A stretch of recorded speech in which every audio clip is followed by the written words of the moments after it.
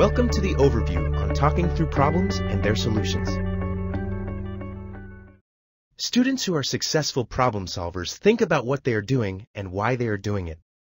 They evaluate the strategies they are using and connect new concepts to what they already know.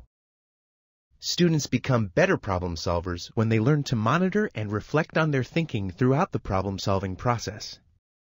Research shows that teaching reflection strategies and providing feedback to scaffold problem-solving steps can be effective with students who struggle with mathematics and English learners.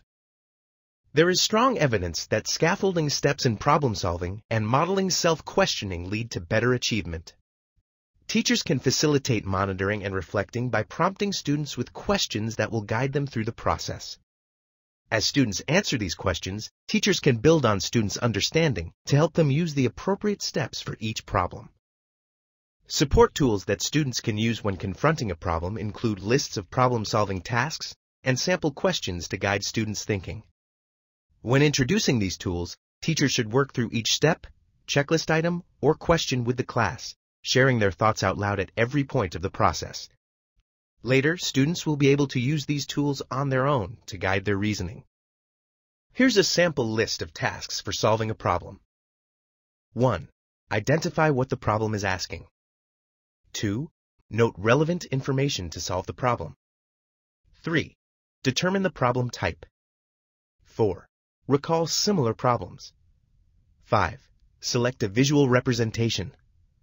6. Solve the problem. 7. Check the solution. Such a list might be posted on the board or turned into a graphic organizer. Another helpful tool that teachers can provide is a list of questions designed to prompt students to explicitly think through steps needed to solve a problem and evaluate their work at each stage of the process. Here are some examples of question prompts. What is the problem asking? Which information in the problem is relevant? What similar problems have I solved? Does the solution make sense? How can I verify the solution? What would I do differently next time? Students will need help learning how to use prompts effectively. Teachers can model using the prompts, thinking out loud as they respond to each step or question and being sure to explain their reasoning to the class. Or teachers might model only the responses to the prompts and ask students to explain how they think the teacher arrived at that answer. Or teachers can ask students to explain their responses to each of the prompts, providing feedback as appropriate. Once students have grown comfortable with the questions, they can move on to working in pairs or small groups, prompting one another as they work through problems. It is helpful for teachers to model using think alouds whenever introducing new problem-solving concepts or activities. Here's how a teacher's modeling might sound. First, I ask myself, what is this problem about and what do I need to find the answer? I see that the problem asks me to compare two different product sizes to see which is the better value. So I'll need the product sizes, and I'll need to know the cost of each item. Once I've got that answer, I ask myself, have I ever seen a problem like this before? I think this is similar to the problems we had about finding the volume of different containers, and also the problem of comparing prices. Then I ask myself, what steps should I take to solve the problem? This practice is also beneficial when reviewing concepts and activities that the students have encountered before. Thinking aloud through the process helps students build good problem-solving habits.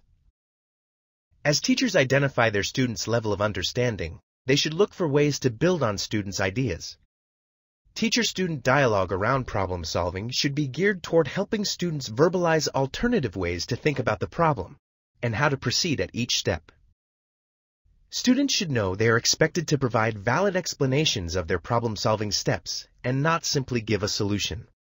Consistently having to justify steps in problem solving becomes more important as problems become more challenging. Teachers can organize a session in which students debrief their problem-solving strategies with the whole class. This gives students the opportunity to learn from each other while practicing the steps in the process. Presenting problem-solving approaches to peers emphasizes for students the importance of explaining their reasoning and builds their confidence in solving problems.